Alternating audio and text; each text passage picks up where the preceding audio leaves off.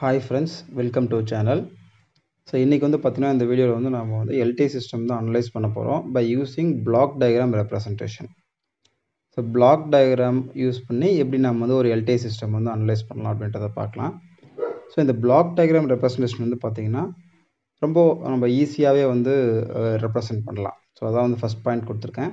So represented in a simple way second வந்து பார்த்திங்கன்னா நமக்கு வந்து ஒரு டயக்ராமெட்டிக் ரெப்ரசன்டேஷன் ஒரு பிக்டோரியல் ரெப்ரசன்டேஷன் நமக்கு வந்து இந்த பிளாக் டயக்ராம் நமக்கு கொடுக்குது. ஸோ இது எதுக்கு யூஸ் ஆகுதுன்னு பார்த்தீங்கன்னா it's useful for simulation and implementation of the system so ரொம்ப ஈஸியாகவே நம்ம இந்த சிமுலேஷன் பண்ணுறதுக்கும் அப்புறம் வந்து சிஸ்டம் நம்ம இம்ப்ளிமெண்ட் பண்ணுறதுக்கும் இந்த பிளாக் டயக்ராம் ரெப்ரசன்டேஷன் மெத்தட் வந்து நமக்கு யூஸ்ஃபுல்லாக இருக்குது ஸோ நம்ம வந்து ஒரு ப்ராப்ளத்தை எடுத்து பிளாக் டயக்ராமில் ரெப்ரசன்ட் பண்ணுறதுக்கு முன்னாடி இந்த பிளாக் டயக்ராம் ரெப்ரசன்ட் பண்ணுறதுக்கு என்னென்ன பேசிக் எலமெண்ட்ஸ் நமக்கு தேவைப்படுது அப்படின்றத நாம் பார்த்துருவோம். ஸோ ஃபஸ்ட்டு வந்து பார்த்திங்கன்னா நார்மல் மல்டிப்ளிகேஷன் அதாவது ஸ்கேலார் மல்டிப்ளிகேஷன் சொல்லுவோம். ஸ்கேலார் மல்டிப்ளிகேஷன் ஸோ இது ரொம்ப சிம்பிளான ஒரு எலிமெண்ட் தான். ஸோ அது என்னென்னு பார்த்தீங்கன்னா ஸோ இப்போ நம்மக்கிட்ட வந்து ஒரு இன்புட் இருக்குது எக்ஸ் ஆஃப் டி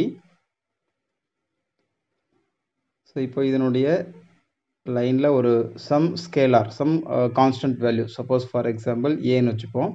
ஸோ ஏன்றது மல்டிப்ளை ஆச்சுன்னா நமக்கு வந்து அவுட்புட் ஒய் ஆஃப் டி நமக்கு என்ன கிடைக்குன்னு பார்த்தீங்கன்னா a times of x of டின்னு கிடைக்கும். ஸோ இதுதான் வந்து ஸ்கேலார் மல்டிப்ளிகேஷன் நாம் சொல்லுவோம். ஸோ இது ஒரு பிளாக் டயக்ராமில் யூஸ் பண்ணக்கூடிய ஒரு பேசிக் எலிமெண்ட் செகண்ட் வந்து பார்த்திங்கன்னா அடிஷன் செகண்ட் பார்த்திங்கன்னா அடிஷன் ஸோ ரெண்டு இன்புட்டை எப்படி வந்து பிளாக் டயக்ராம் ரெப்ரஸன்டேஷனை நம்ம ஆட் பண்ணுறது அப்படின்னு பார்க்கலாம் நம்ம. ஸோ இப்போ ரெண்டு இன்புட் இருக்குது நம்மக்கிட்ட எக்ஸ் ஒன் ஆஃப் டி அதே போல் எக்ஸ் டூ ஆஃப் டி ரெண்டு இன்புட் இருக்குது ஸோ இது எப்படி நம்ம ஆட் பண்ணுவோம்னா by using summation so summation வந்து நம்ம யூஸ் பண்ணி ஆட் பண்ணுவோம். ஸோ இங்கே ப்ளஸ் அதே போல் இங்கேயும் ப்ளஸ் ஸோ அவுட்புட் நமக்கு என்ன வரும்? Output y of t equal to x1 of t plus x2 of t. So இந்த மாதிரி நம்ம ஆட் பண்ணுவோம். ஸோ சப்போஸ் கான்ஸ்டன்ட் ஏதாவது வந்தால் இந்த இடத்துல நம்ம ஏபி அப்படின்னு போட்டு a x one of t plus b x two of டின்னு நம்ம போடலாம். ஸோ அடுத்த முக்கியமான பேசிக் எலிமெண்ட் என்னென்னு பார்த்தீங்கன்னா முக்கியமான எலிமெண்ட் இது. ஸோ இது என்னென்னு பார்த்தா இன்டெகிரேஷன் டைம் டொமைனில் நம்ம பார்க்கும்போது இது நம்ம இன்டெகிரேஷன் சொல்லுவோம். இதுவே நாம் வந்து சாரி கண்டினியூஸ் கண்டினியூஸ் டைம் சிஸ்டம்னால் நாம் வந்து இன்டெகிரேஷன் சொல்லுவோம். இதுவே டிஸ்கிரிட்டில் வரும்போது பார்த்தீங்கன்னா இது வந்து டிலே எலமெண்ட் அப்படின்னு நம்ம சொல்லுவோம். ஸோ இது நம்ம டிஸ்கிரிட்டில் வரும்போது பார்க்கலாம் ஸோ இப்போ எக்ஸ் ஆஃப் டி அப்படின்னு எடுத்து வச்சுக்கோங்களேன். ஸோ இப்போ இன்டெகிரேஷன் பிளாக்கு ஸோ இங்கே வந்து நம்ம இன்டெகிரேஷன் போட்டோம்னா ஸோ நான் வந்து இன்டெகிரேஷன் வந்து சிம்பிள் யூஸ் பண்ணிக்கிறேன். ஸோ இன்டெகிரேஷன் போட்டோம்னா நமக்கு அவுட்புட் என்ன கிடைக்கும்? Y of t equal to y of t equal to integration of minus infinity to t x of tau d tau. So இந்த இடத்துல டவுக்கு பதில் நம்ம லிமிட் சப்ஸ்ட் பண்ணும்போது டீயாக கன்வெர்ட் ஆகிடும் ஸோ இந்த மூணு தான் வந்து மெயின் அதாவது main basic elements of block diagram representation so இந்த மூணு எலிமெண்ட்டை யூஸ் பண்ணி தான் நம்ம என்ன பண்ண போகிறோம் நாம் வந்து பிளாக் டயக்ராம் மெத்தடில் எல்டிஏ சிஸ்டம் வந்து நம்ம ரெப்ரசென்ட் பண்ண போகிறோம் ஸோ இப்போ நம்ம ஸ்ட்ரெயிட்டாகவே நம்ம ப்ராப்ளத்துக்கு போயிடலாம். ஸோ இப்போ வந்து ஃபஸ்ட் ப்ராப்ளம் பார்க்கலாம். ரெண்டு ப்ராப்ளம் பார்க்கலாம். ஸோ இதில் ப்ராப்ளம் போகிறதுக்கு முன்னாடி two types of block diagram representation இருக்குது ஒன்று வந்து பார்த்திங்கன்னா direct form one so two டைப்ஸில் நம்ம என்ன பண்ணலாம்? ரெப்ரசன்ட் பண்ணலாம்.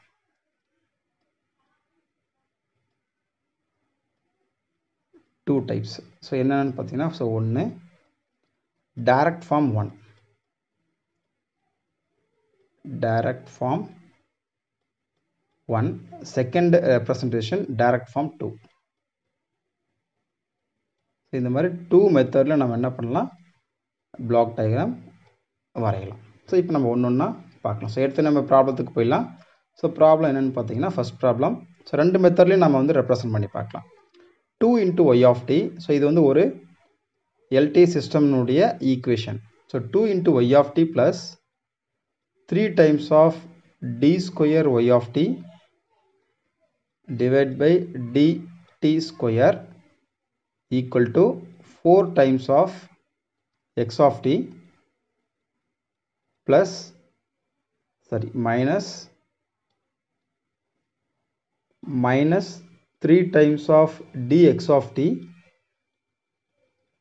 by dt plus d square x of t divided by dt square so இந்த மாதிரி ஒரு எல்டி சிஸ்டம்னுடைய ஈக்குவேஷன் கொடுத்துட்றாங்க. ஸோ இது வந்து which represent the equation of LT system so இப்போ இதை நம்ம எப்படி நம்ம வந்து ரெண்டு மெத்தட்லையுமே direct form one direct form two மெத்தடில் எப்படி ரெப்ரசன்ட் பண்ணலாம்னு பார்க்கலாம். ஸோ ஃபஸ்ட் நம்ம என்ன பண்ணுவோம்னா அவுட்புட் நம்ம கண்டுபிடிச்சிப்போம். ஸோ இந்த இடத்துல அவுட்புட்ன்றது y of t so y ஆஃப்டின்றது தான் அவுட்புட்டு எக்ஸ் ஆஃப்டின்றது இன்புட்டு ஸோ நம்ம என்ன பண்ணுவோம்னா நம்ம எனிவே நம்ம இன்டகிரேஷன் தான் நம்மளுடைய பேசிக் எலமெண்ட்டில் இருக்குது ஆனால் டிஃப்ரென்சேஷன் நம்ம பேசிக் எலமெண்ட்டில் கிடையாது. ஸோ இப்போ நம்ம டிஃப்ரென்சேஷன் என்ன பண்ணணும்?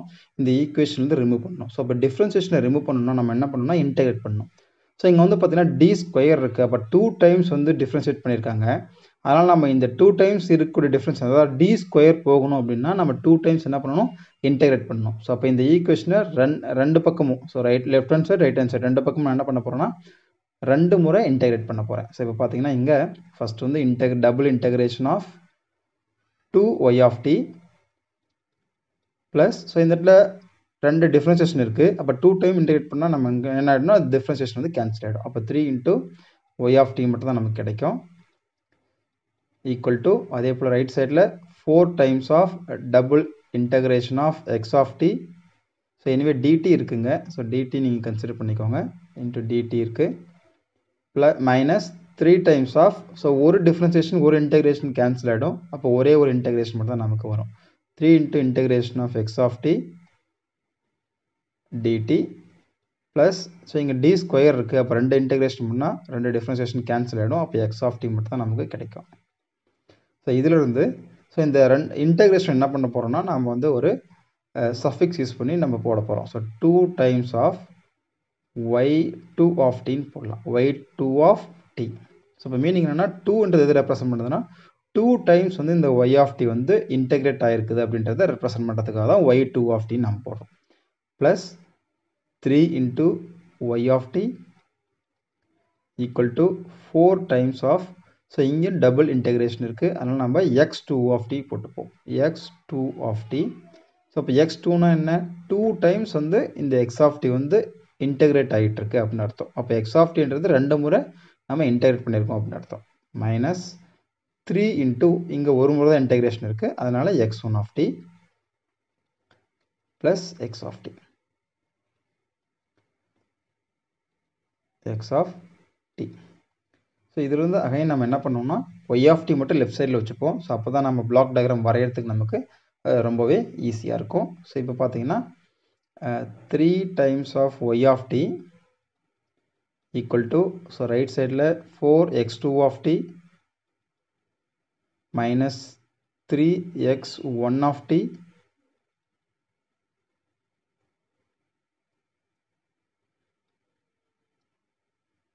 plus x of t minus so இங்கே லெஃப்ட் சைடில் இருக்கக்கூடிய ஒய் டூ ஆஃப் டி நான் வந்து ரைட் சைடில் கொண்டு வந்துடுறேன். Y two of t so இப்போது ஸோ இதிலிருந்து நம்ம என்ன பண்ணலாம்னா இந்த கான்ஸ்டன்ட் இருக்குது த்ரீன்னு இருக்குது இந்த கான்ஸ்டண்ட்டை நம்ம என்ன பண்ணுவோம்?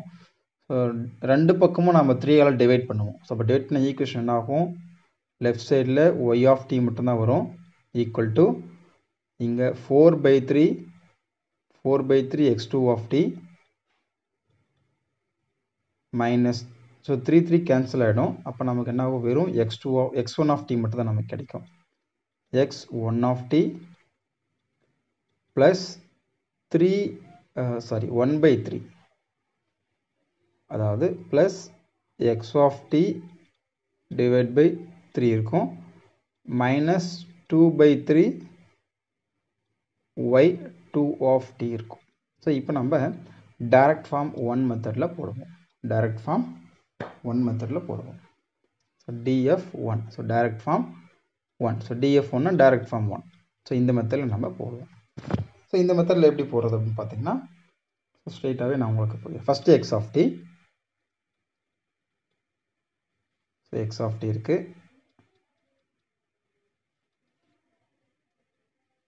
எக்ஸ் ஆஃப் டி இருக்குது ஸோ இந்த எக்ஸ் ஆஃப் டி என்ன ஆகுது ஸோ இங்கே பார்த்தீங்கன்னா எக்ஸ் ஆஃப் டி இதுதான் x of t so x of t கூட நமக்கு வந்து கான்ஸ்டன்ட் என்ன? ஒன் பை த்ரீ ஆட் ஆகுது. So one by three add ஆகுது. அப்போ இந்த இடத்துல நம்ம ஒரு சமேஷன் போட்டுக்கணும். ஆட் ஆகுது. ஸோ அதுக்கப்புறம் என்ன ஆகுது? ஸோ இங்கே நம்ம ஒரு இன்டகிரேஷன் பண்ணோம். ஸோ இன்டகிரேஷன் போடும்போது நமக்கு என்ன கிடைக்குங்க? ஸோ இந்த இடத்துல எக்ஸ் ஒன் ஆஃப் டி நமக்கு கிடைக்கும். ஸோ இந்த இடத்துல எக்ஸ் ஒன் ஆஃப் டி கிடைக்கும். நான் ஒரு முறை இன்டகிரேட் பண்ணிட்டோம். ஸோ அதுதான் x one of t so இந்த எக்ஸ் ஒன் ஆஃப் டியோட கான்ஸ்டன்ட் என்ன? மைனஸ் ஒன் ஸோ அப்போ மைனஸ் ஒன்னு நமக்குங்க இது சமேஷன் அப்போ மைனஸ் ஒன்னால் நம்ம என்ன பண்ணணும்? மல்டிப்ளை பண்ணிவிட்டு அதுக்கப்புறம் ஆட் பண்ணணும். சம் பண்ணணும். இங்கே திரும்ப எக்ஸ் டூ ஆஃப் டி இருக்குது ஸோ அப்போ என்ன பண்ணணும்? இன்னொரு முறை நம்ம இன்டகிரேட் பண்ணணும். ஸோ அப்போ இன்னொரு முறை ஒரு இன்னொரு இன்டகிரேஷன் எலிமெண்ட் போடணும். இன்டகிரேஷன் கொஞ்சம் இதாக வருது அட்ஜஸ்ட் பண்ணிக்கோங்க. இன்டகிரேஷன் ஸோ அப்போ நமக்கு இங்கே என்ன கிடைக்கும்? எக்ஸ் டூ ஆஃப் டி நமக்கு கிடைக்கும். ஸோ எக்ஸ் டூ ஆஃப் டினுடைய கான்ஸ்டன்ட் வேல்யூ என்ன? ஃபோர் பை த்ரீ ஸோ அப்போது இது நம்ம இது கூட ஸோ நமக்கு இதுக்கப்புறம் எக்ஸ் த்ரீ ஆஃப் டி இல்லை. அதனால் நம்ம வந்து இதுக்கப்புறம் நம்ம இன்டகிரேஷன் போகணுன்ற அவசியம் கிடையாது. ஸோ அப்போ இங்கே ஸோ இந்த இடத்துல பார்த்தீங்கன்னா ஸோ நமக்கு வந்து four by three four divide by three நமக்கு கிடைக்கும். ஸோ இப்போ இதை நம்ம ஸோ இப்போ நம்ம எக்ஸ் ஆஃப் டி ஃபுல்லாக கண்டுபிடிச்சிட்டோம். ஸோ அதே போல் ஒய் ஆஃப் டிலேருந்து வரக்கூடியதை நம்ம பண்ணும் இது Y of T so Y one of T நமக்கு ஈக்குவேஷனில் கிடையாது. ஸோ அதனால் நமக்கு ஒய் ஒன் ஆஃப் டி தேவையில்லை. நமக்கு வந்து ஒய் டூ ஆஃப் டி தான் நமக்கு வேணும். ஸோ அப்போ இந்த இடத்துல ஒய் ஒன் ஆஃப் டி நமக்கு கிடைக்கும். ஸோ இனிமேல் நமக்கு ஒய் டூ ஆஃப் டி தான் வேணும். ஸோ இன்னொரு முறை ஒரு இன்டகிரேஷன் நான் போட்டுக்கிறேன். ஸோ நமக்கு இங்கே என்ன கிடைக்கும்? ஸோ இங்கே வந்து ஒய் டூ ஆஃப் டி கிடைக்கும். ஸோ இந்த ஒய் டூ ஆஃப் டி தான் நான் என்ன பண்ண போகிறேன் இது கூட மல்டிப்ளை பண்ண போகிறேன் அதனுடைய கான்ஸ்டன்ட் வேல்யூ என்னென்னு பார்த்தீங்கன்னா minus two by three minus two by three so இதுதான் பார்த்தீங்கன்னா டேரக்ட் ஃபார்ம் ஒன் ஸோ இந்த டேரக்ட் ஃபார்ம் ஒனில் பார்த்தீங்கன்னா ஸோ ஒரு இன்டகிரேட்டர் அதாவது நமக்கு வந்து நாலு இன்டகிரேட்டர் யூஸ் ஆகுது. ஸோ இதுதான் வந்து disadvantage of direct form one so நம்ம இன்டகிரேட்டர் வந்து இன்க்ரீஸ் பண்ண இன்க்ரீஸ் பண்ண சிஸ்டம் வந்து காம்ப்ளெக்ஸாக இருக்கும். ஸோ அப்போ என்ன பண்ண போகிறோம்னா நம்ம டேரக்ட் ஃபார்ம் டூ மெத்தடில் இன்டகிரேட்டர் நம்ம என்ன பண்ண போகிறோம்னா ரெடியூஸ் பண்ண போகிறோம் ஸோ எனிவே நம்ம வந்து ரெண்டு ரெண்டு அதாவது இன்புட்டுக்கு தனியாக இன்டகிரேட்டர் அவுட்புட்டுக்கு தனியாக இன்டகிரேட்டர் போகிறதுக்கு பதிலாக என்ன பண்ண போகிறோம்னா ரெண்டுத்துக்கும் காமனாக ரெண்டு இன்டகிரேட்டர் யூஸ் பண்ணி இன்புட்டுக்கும் யூஸ் பண்ணிக்க போகிறோம் அவுட்புட்டுக்கும் யூஸ் பண்ணிக்க போகிறோம் ஸோ அதுதான் பார்த்திங்கன்னா நமக்கு வந்து டேரக்ட் ஃபார்ம் டூ ஸோ எல்லாமே சம்மேஷன் ஃபுல்லாகவே ப்ளஸ்ஸு ஓகேங்களா இப்போ டேரக்ட் ஃபார்ம் டூ மெத்தட் நம்ம பார்க்கலாம்.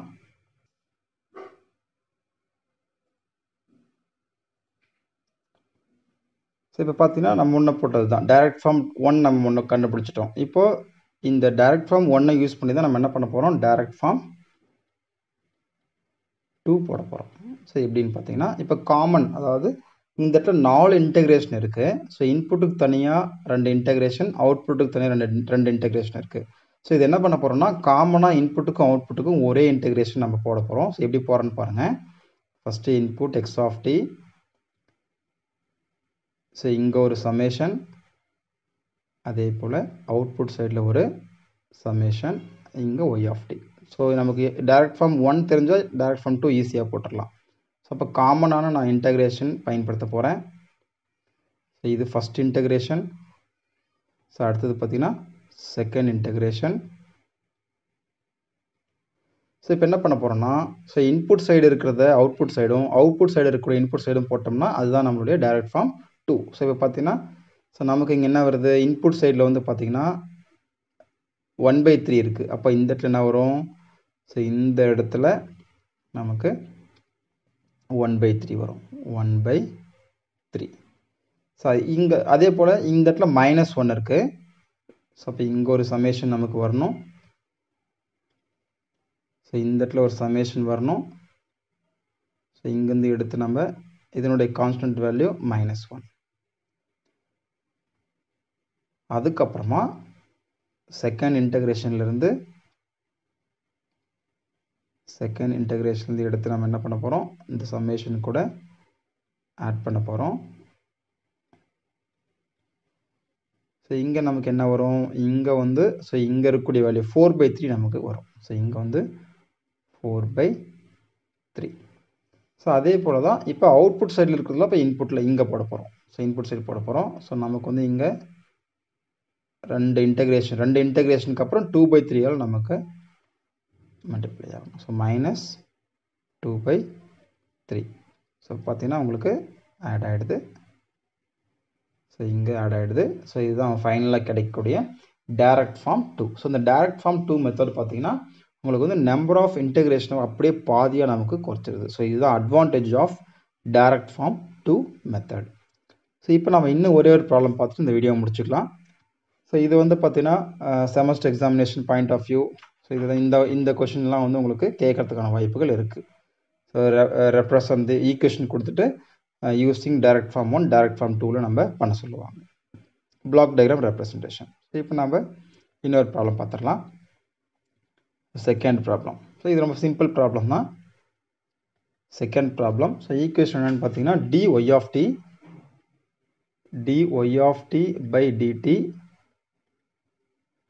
plus 5 times of y of equal equal to 3x of t.